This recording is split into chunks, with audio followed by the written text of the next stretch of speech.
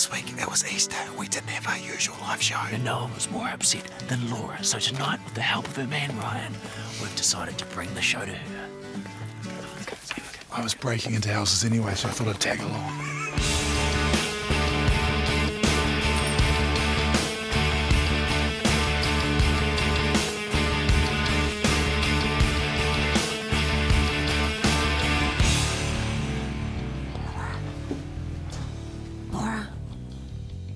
Laura.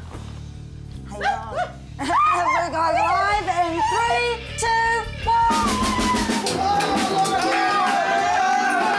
Welcome to the show. Coming to you live from Laura's house. We've got a big show planned for you tonight, Laurie.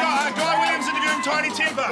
No, there's enough about Guy Williams. There's more on the show than Guy Williams. Let's kick it off with Joke Frenzy Right. Joke Frenzy! Tonight,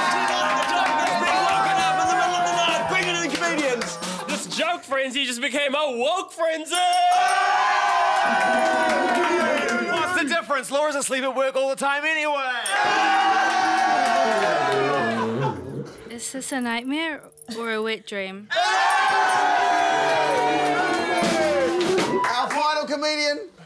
Uh, um, the, the shit. This